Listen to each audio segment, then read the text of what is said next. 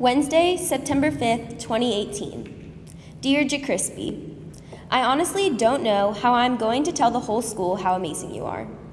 Whether it was on the playground in lower school or teaming up against Abby, you have always been by my side and me by yours. But it's time for me to face reality and the fact that we will most likely not be together next year.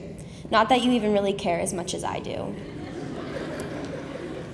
I'm going to miss having our room connected by sliding doors that you hate when I open because I bother you all the time.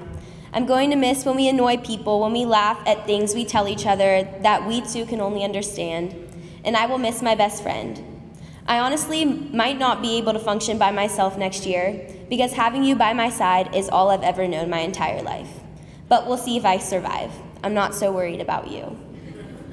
I'll miss your OCD, your ability to read my mind, I'll even miss your sarcastic attitude that I could care less about at times, or your ability to do nothing yet everything at the same time while I'm over here stressing about everything. Your confidence to do anything and say whatever comes to your mind makes me mad. But I love you anyways. And even though you might think you're not as awesome as your twin sister, you might be a little more awesome today. Only today.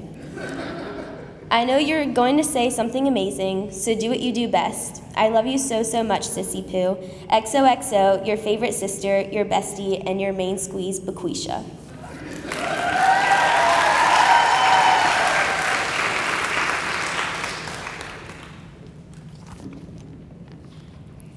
If you couldn't tell already, I'm a twin. A twin can only be described one way someone you absolutely can't stand but can't live without. That describes mine and Becca's relationship perfectly. However, from the moment we were born, Becca and I were inseparable. We are those twins who wore matching outfits, shared a stroller, occasionally watched Mary Kate and Ashley Olsen on Full House, sometimes say things at the exact same time, and yes, we did switch places to confuse our lower school teachers. Some tips to help you tell us apart we are fraternal, not identical. I'm taller by one inch. Her hair is a little darker. My face is shaped more like an oval. She's a minute older. And as much as I hate to admit it, my voice is a little deeper. These may seem like random facts, but these make up my usual responses to questions I get asked on a daily basis. Don't get me wrong, it's a little frustrating at times to hear the same questions asked over and over again, but I enjoy these conversations. I appreciate that someone is taking the time to understand and is interested in what it's like to be a twin.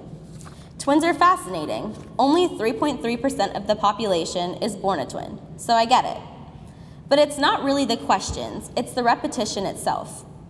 After 17 years, my sister and I can predict what will be asked. We even know to stand side by side so people can stare at our faces, which is super weird and sometimes uncomfortable but it makes it easier for people to compare and contrast. We're used to it. On one hand, sharing the same qualities like age, appearance, and interests has had its advantages. Even though I may not show it most of the time, I'm grateful that I'm a twin.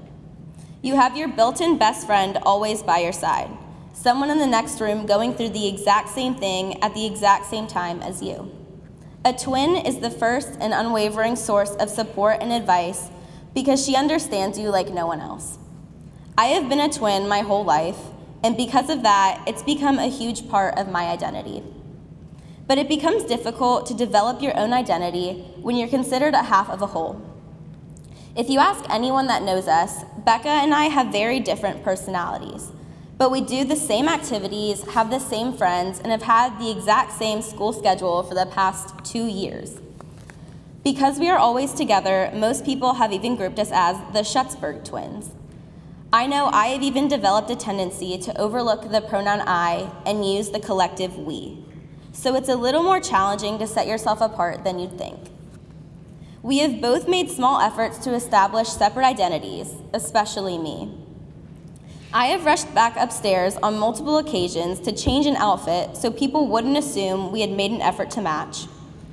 I have put myself on the other end of a group picture so people wouldn't associate us together. And I've even left the house on multiple occasions without telling her where I'm going so she couldn't follow me. but most recently, Becca and I made a pact. When the time came to apply to college, we would not talk about test scores, where we were applying, where we want to go, and everything else included in the process. For me, this process was something I wanted to do on my own, individually and independently.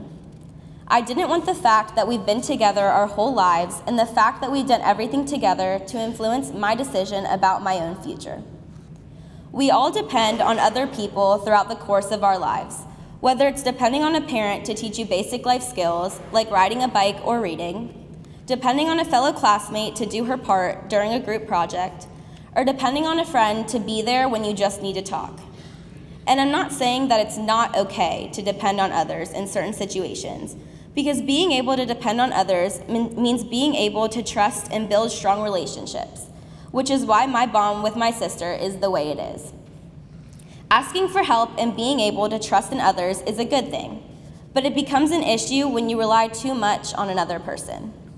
When you depend too much on others, you limit your ability to be a thoughtful, independent individual growing to your full potential. You won't always have that best friend by your side through all your life challenges and struggles to help and support you.